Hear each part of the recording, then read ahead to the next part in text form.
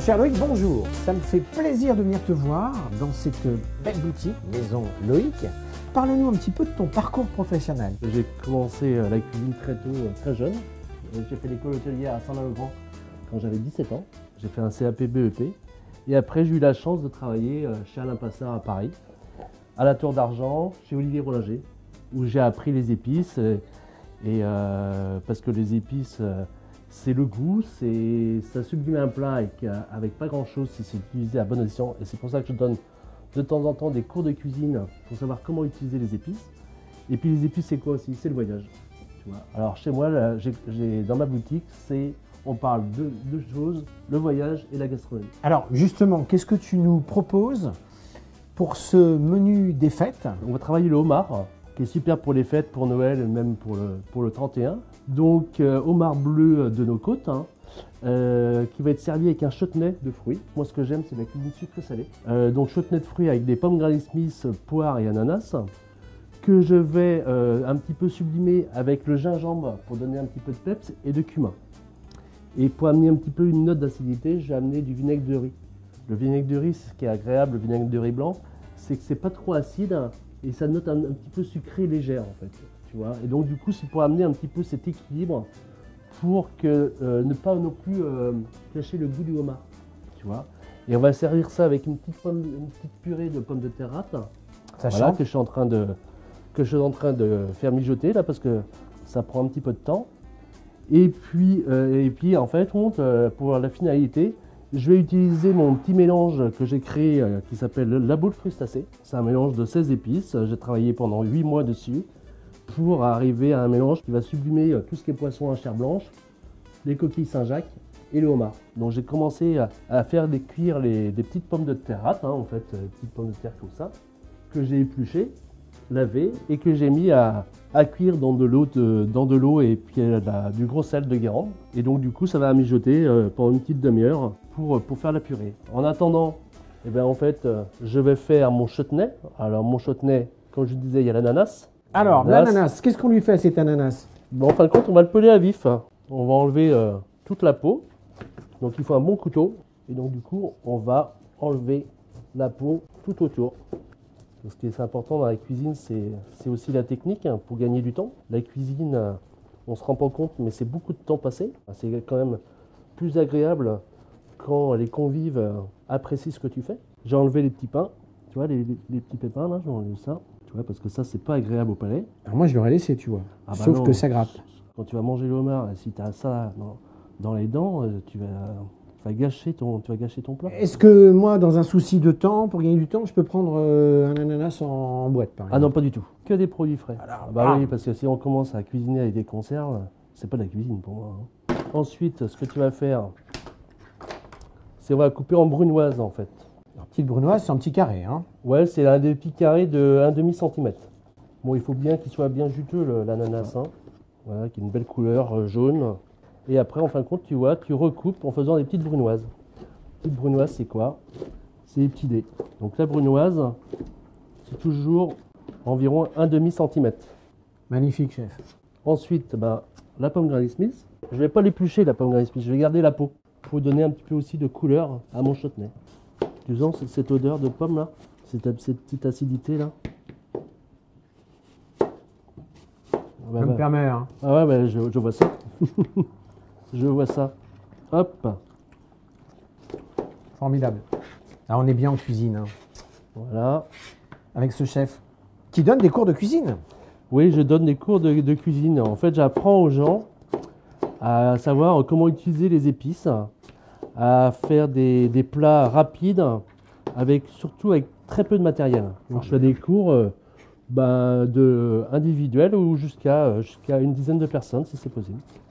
Et alors, il vous reste quelques jours pour faire euh, vos cadeaux de Noël. Et ben, profitez-en pour offrir euh, un bon cadeau. Ouais. Alors, c'est un bon cadeau euh, de 114 euros, tu vois. Mais ça comprend ben, justement la visite du marché de la Baule, le choix des produits, l'élaboration, et puis après, ben, en fin de compte, il y a la dégustation. Accompagné d'un d'un apéritif, euh, je fais une sangria maison, sangria blanche, et, euh, et puis le repas. Donc tu vois, la, po- la poire, ben, on l'épluche à la dernière minute, hein, pareil, pour pas qu'elle noircisse. une belle couleur. Voilà, on enlève bien toute la peau. Et pareil, on va faire une brunoise. Ensuite, qu'est-ce qu'on va faire? Oui, qu'est-ce qu'on va faire? Alors, on va regarder les, Les pommes de terre les pommes de terre. Voilà. Et là, tu vas prendre une fourchette et tu vas écraser. Donc, tu mets au fur et à mesure comme ça. C'est qu'en fin de compte, on va la, monter à l'huile d'olive. Alors, l'huile d'olive, c'est je prends l'huile d'olive des pouilles parce que c'est une huile qui est fruit des verts douce, qui a, pas- qui a très peu d'acidité et donc, du coup, qui ne va pas dénaturer la purée. Là, pour que ce soit Ah oui, quand même. une purée bien onctueuse. Ah oui, parce qu'il faut que ce soit onctueux quand même. Tu vois voilà. De l'huile d'olive pouille. Des pouilles. Des pouilles. Des pouilles, ouais. Et c'est quoi les pouilles? Les Pouilles, c'est une région d'I- d'Italie, euh, voilà, et- qui est reconnue pour, pour son huile d'olive. Donc là, je vais assaisonner ma purée. Donc fleur de sel, fleur De de, sel Guérande. de Guérande. Moi, j'utilise beaucoup, c'est le 5 bec concassé. 5 bec concassé, c'est un mélange de poivre, de baie rose et poivre de la Jamaïque. C'est un, un mélange de, de- de- de piquant et puis de parfum. Ma purée est prête. Comme ça, après, j'y touche plus. Donc bien sûr, ce qui est super important, c'est de la goûter. Tiens, tu vas la goûter en premier. Comme ça. Hop. Tu me dis ce que tu en penses. Tu vois C'est sympa. Ça passe. Ça passe, hein Ça passe.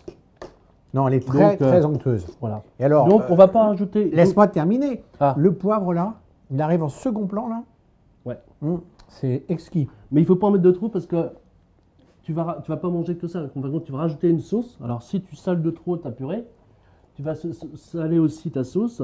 Et donc, à un moment donné, tu vois, ça va être trop, trop de saveur. Donc, il faut, que ce soit toujours juste. Pas plus, pas moins, mais tu vois, juste assaisonner comme il faut. Alors maintenant, si je comprends bien, nous allons passer au chutney. Ouais. Donc, mon fait-tout, à mi-feu, Mi-feu, ouais. je vais le mettre à 5. On met en position 5, ouais. Voilà, très bien. Je Comme suis. ça, c'est entre le deux. Ah, ouais, oui, c'est très bien. Moi, ce que je préconise, c'est 5 cuillères à soupe de vinaigre de riz. Voilà, exactement. Tu vois, tu mets un doigt de gingembre, tu rajoutes ton ananas, ta poire, et tu rajoutes la pomme Granny Smith.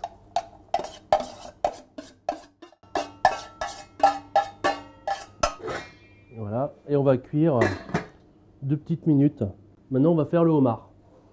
Donc, tu prends le homard comme ça, tu laisses les, élastiques parce que sinon, euh, si le, le homard te pince, ça va être très compliqué. Donc ce qui est super important là, c'est d'avoir un bon couteau aussi. Il faut que ce soit propre et net et rapide. Donc tu présentes le homard sur ta planche comme ça. Tu vois, tu as la pointe ici.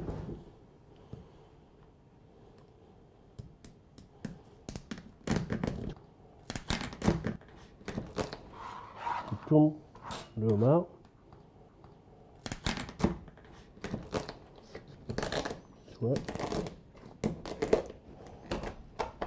Et voilà.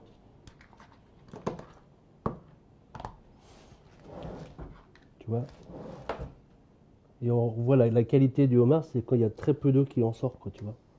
Ça veut dire qu'il a fait très peu de, très peu de vivier. Ensuite, j'enlève la pince.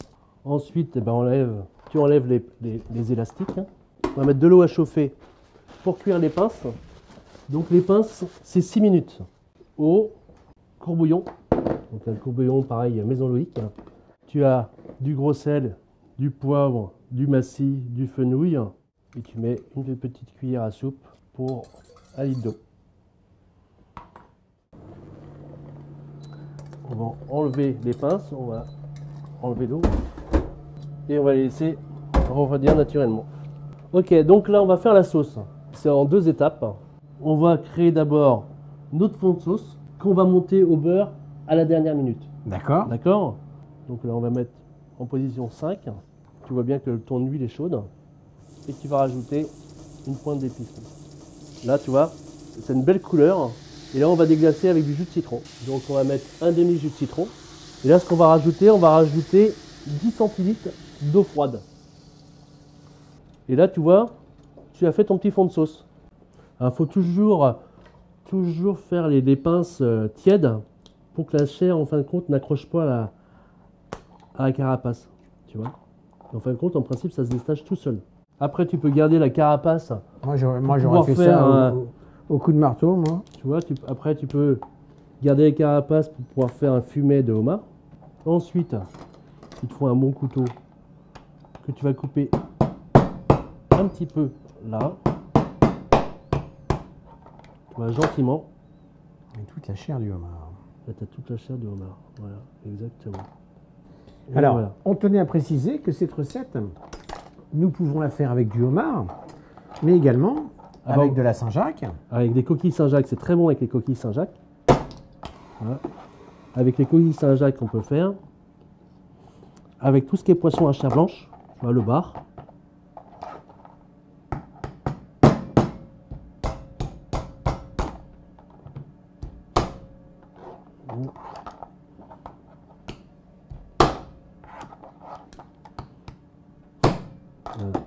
Donc là, dernière étape le- pour le dressage. Ce qu'on va faire, c'est qu'on va mettre notre purée à chauffer, à réchauffer. On va mettre un filet d'huile d'olive sur le homard. Donc ce qui est important, c'est bien de préchauffer son four. Donc là, la purée, on la réchauffe à la casserole, mais on peut aussi la réchauffer au micro-ondes, hein, il n'y a pas de souci. hein. Ensuite, eh ben, tu, pré- tu prépares aussi ton beurre. Donc beurre demi-sel, bien sûr. Donc pour, pour 4 personnes, il faut, euh, il faut environ un tiers de, un de plaquette. Quoi. Donc là, tu as ton beurre, ta purée. Donc là, on va enfourner le homard. Voilà. On va faire notre sauce. Là.